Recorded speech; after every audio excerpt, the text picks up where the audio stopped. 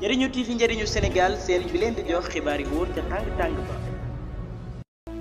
mbokkentox na di ñu tàmm di ñu teewlu sunu seen bi di jëriñu TV njëriñu Sénégal seen bi ngeen tàmm di fi tataane ay xibaar dal leen nag jàmm ci xibaar xibaar yi dañu koy door rek publication bi nga xamante si ni El Malick Ndiaye daal dina koy def ci page Facebook am mu nekk lu doy waar uh, torop loolee nag dañ daal di ñëw ngir daal di leen koy faram fàcceel El Malick Ndiaye uh, di xam ne ne ki nga xamante si ni moom moo di uh, président Ousmane Sonko ñi ngi koy présenté ci benn ba juge ngir daal maanaam mu daal di koy laaj bu paree nag ñu daal di koy inculpé placé ko sous mandat de dépôt maanaam daal ci leeral ci yooyu les kaddu saa yoo xamante si ni juge bi daal di nay diglu ki nga xamante si ni Euh, moom moo di njiital Pastef Ousmane Sonko ba pare mën na koo daal di yóbbu fa nga xamante si ni moom moo di euh, prison loolee nag daal di nekk mbir mu doy waar maanaam daal mu daal di dem euh, fekk ji ñi nga xamante si ni ñoom ñooy Bassirou Diomaye Faye ak ñeneen ñi nga xamante si ni daal di woon nañu bokk ci Pastef depuis ñu taxawal seen parti ba léegi ñu ànd di xeex ngir daal di jële fi li nga xamante si ni moom lañ jàpp ni baaxul ci réew mi ngir daal di mën a fal seen candidat Ousmane Sonko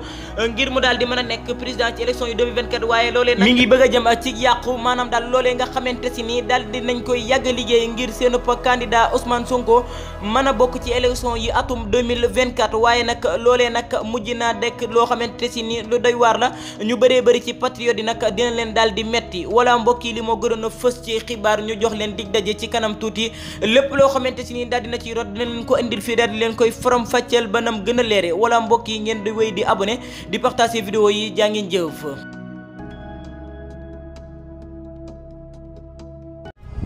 njëriñu TV njëriñu Sénégal seen bi leen di jox xibaar yi wóor te tàng tàng ba